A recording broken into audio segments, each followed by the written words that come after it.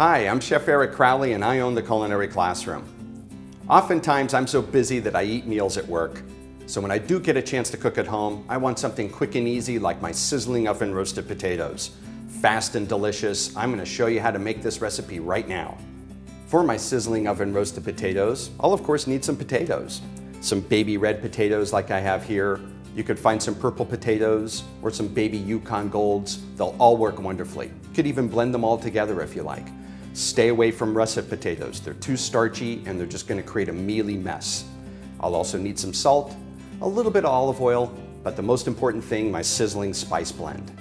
The first thing I start off with when I get home is turn that oven on. 450 degrees. Let it get really nice and hot. And while it is heating up, you can start to cut up your potatoes.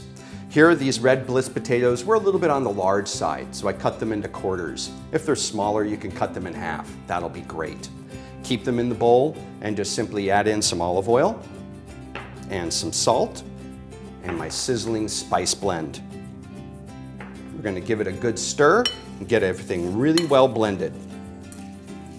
Oh boy, when that spice blend hits that oil, you can really just smell that fragrance coming up, and I know it's gonna have a nice little kick to pair up with whatever I set it up with.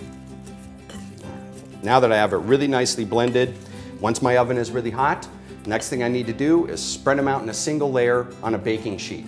Something with some aluminum foil or some parchment paper on it to help keep it from sticking. Make sure you don't crowd all the potatoes together. You wanna have them all spread out. If you have them all bunched up, then they're not gonna roast and they're basically gonna steam themselves. Really nice spread out like this, and then they're ready to go into the oven.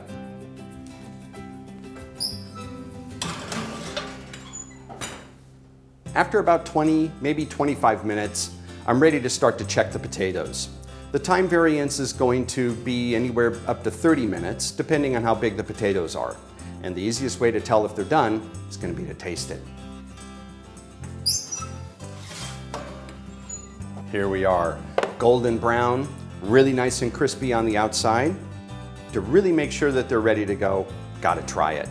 Wanna let them cool off a little bit because they are gonna be piping hot. Give it a little cut.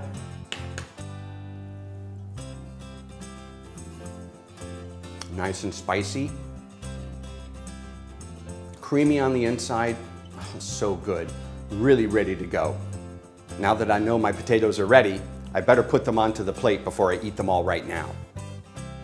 a nice little plate right here. A couple of spoonfuls of potatoes for every serving. Just put them right into the center. Get ready to put whatever I want on top. You could easily serve this with some ratatouille for a nice vegetarian entree if you like. A little parsley sprig or two for a little color. There it is. Oh, the aroma is fantastic. I can't wait to dig in. My sizzling oven roasted potatoes. For more tips and videos, go to my website, culinaryclassroom.com, or subscribe to my YouTube channel, Culinary Classroom. I'll see you soon.